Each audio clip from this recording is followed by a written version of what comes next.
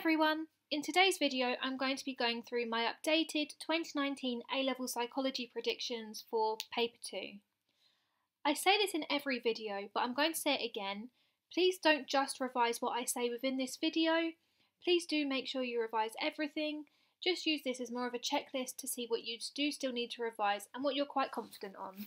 So my predictions within this video haven't actually changed too much from the first video but I thought it was quite useful to see what was in the 2019 AS Paper 2 for some of the different sections. What was in the 2019 AS paper for this section? You had a cognitive tick box question, a question on the limitation of the cognitive approach, a social learning theory application question, and then your 12 mark question on the biological approach. What do I think could come up in the 2019 paper?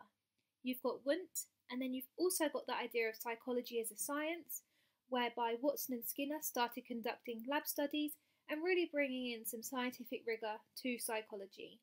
I think we haven't really seen this one so much in the past, so it's a good one that could come up, and it does underpin psychology as we know it today. Next, you've got the cognitive approach. So within this, you've got your theoretical models, which are your working memory model, your computer models, the role of the schema, and then cognitive neuroscience. So that has allowed for the study of brain structures, which in turn has allowed for the development of different imaging techniques of the brain. So I think this one's quite likely as we haven't really seen cognitive neuroscience so much in the past. It's definitely an emerging thing and it links very nicely to biopsychology also. Next, we've got the humanistic approach. So this did come up as a 16 mark question in 2017, but it wasn't seen last year. Within this, you've got the idea of free will, self actualization, and then Maslow's hierarchy of needs. You've got that idea of needing to have congruency between the ideal self and the actual self. And finally, you've got the development of client centered therapy. Next, you've got the social learning theory. So that's your process of attention, retention, motor reproduction, and then motivation.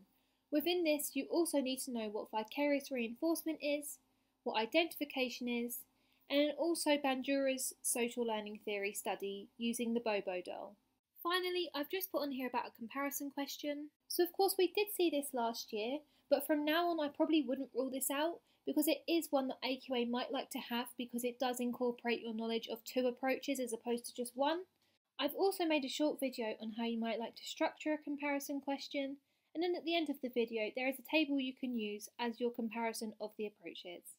Next, you've got biopsychology. So within the AS paper, this only comes into paper 2 within the approaches section, and so the question there was on the endocrine system. So what was in the 2018 A-level paper? There was the role of the somatic nervous system, the labelling of a neuron, a question on synapses, a question on sympathetic and parasympathetic nervous systems, and then the question on the role of the exogenous zeitgebers.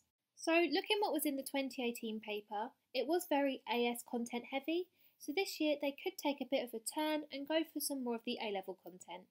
So, what do I think could come up in the 2019 paper? You've got your localization of function, whereby within this you just need to know about your motor, somatosensory, visual, and auditory centres, as well as the language areas of the brain. Next, you've got plasticity and functional recovery. So within this, you need to know about plasticity and the research into this.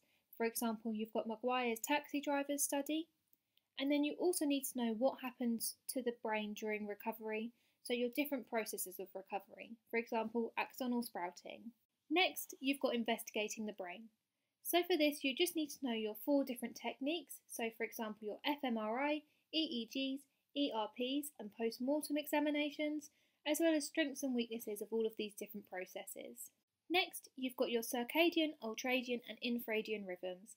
I think of everything on this list, this is probably the most likely to come up. So you've got your circadian rhythm, which is your sleep wake cycle, the ultradian rhythm is those stages of sleep, and then your infradian rhythm is, for example, your menstrual cycle or seasonal affective disorder. I've also just put on here about lateralization and split brain research. I think of the two, split brain research is probably more likely, and this is that quite complicated procedure by Sperry, so just make sure you're clear on the procedure and then those key findings also. Finally, I've put on here just about synapses and neurotransmitters. So this is the kind of thing that can show up every time but just worded slightly differently. So always make sure you're clear on the process of synaptic transmission as well as the different neurotransmitters. Next, you've got research methods. So what was in the 2018 paper for this section? You had your purpose of pilot studies, what is qualitative data and give an example of this, what are investigator effects, random sampling, content analysis, testing for reliability, so your inter-rater and test retest, a construction of a bar chart, you had to make a consent form, there was counterbalancing, you had to identify the type of design used and why, so that was your repeated measures design, the problems with this type of design, comparing means and standard deviations, the 95% confidence level, and then the use of control groups. So what do I think could come up in the 2019 paper?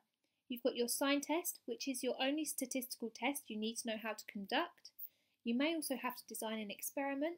So in 2017, there was a question on designing an observation, which I have got a video on, but this time you may need to design an experiment.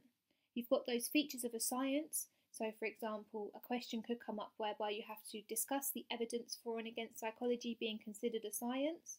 I think this one is quite likely. We haven't seen it before, so they could throw in that kind of essay question into the research methods section. You may also need to create a hypothesis. You, there may be a question on different sections of a scientific report. So within that, you've got your abstract, your introduction, your method, results, discussion, and then a question on referencing could come up. You may need to work out if the results of a stats test are significant. So we did see this in 2017. You may also need to justify the use of a particular stats test. So this was a question in paper one, but it could come up again, perhaps less likely. You also may need to talk about type 1 and 2 errors. So there was a question on this in 2017. You may also need to talk about ways of improving reliability, the evaluation of case studies, ethical issues, so psychology and the economy, which did come up in paper one to do with the role of the father, but I wouldn't rule this out.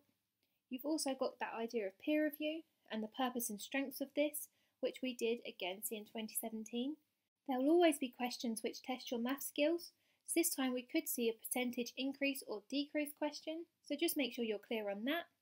And then finally, I've just put on here about construction of a graph, and this time round it could be a histogram, which is fairly different to a bar chart, so just make sure you're clear on how you would construct this type of graph.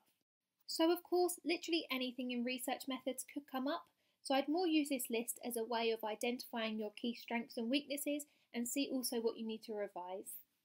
I just wanted to say a huge good luck to all of you. I'm so glad it seems like paper one went well for most of you. Again, I said it at the start of the video and I'm going to say it again. Please don't just use what I said to revise. Please do revise everything. I could be completely wrong for paper two. It could go either way. But again, good luck everyone.